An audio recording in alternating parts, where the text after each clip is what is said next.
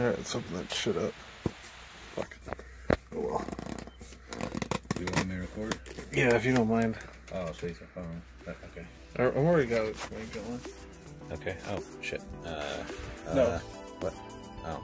Uh, damn it. Okay. I'm right-handed, so. Alright, you all set? Yep. Just, uh, so to be sure to cut it at that point. Shit. Let me guess. Ooh. It's either Ooh. it's either gonna be flocked or regular, which I have both of them. Damn! Ooh. Bullseye. Hell yeah. I mean, considering the fact that I only paid like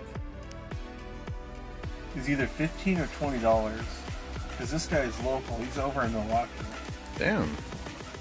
It's not bad. Fucking dope. Uh, usually that's what I would do, but I'm gonna look up his value and compare it to what I paid.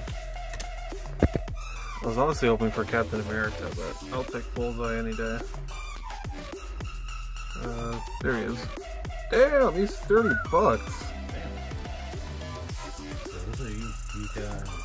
I think this one is actually in better detail than what I uh, got over at the last ThinkGeek swap. Looks way better. Ooh! Ooh, so all of a sudden it's down, down to 30.